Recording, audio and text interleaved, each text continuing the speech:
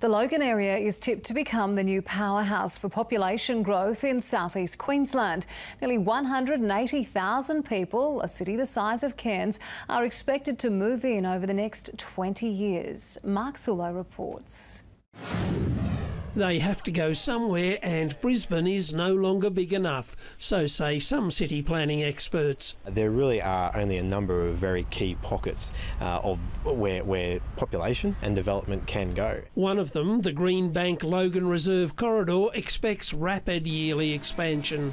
So forecasts are suggesting somewhere between sort of 7% uh, and 7.5% per annum population growth. Meaning 177,000 people looking for homes in Logan's Green Corridor. When you go down the bush here, there's kangaroos everywhere. There's a lot of schools around the area and at the moment they've got very good reputations, the schools. This is Covella, Villa World's largest Queensland project, dwarfing others on the Gold Coast. One and a half thousand lots will be developed here over seven years on 153 hectares. The infrastructure that's going around us with um, schools, hospitals, education, this is where families want to come to.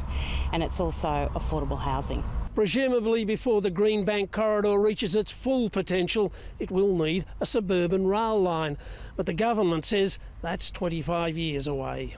Logan Council wants it sooner. It needs a complete passenger line, um, Salisbury all the way to Beaudesert, preferably.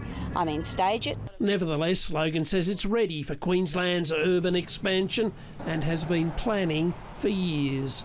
Mark Sulo, 10 Eyewitness News.